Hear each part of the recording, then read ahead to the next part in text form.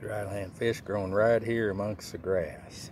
Where I planted last year and trying to clear it out a little bit and worried about it but now we still got dryland fish.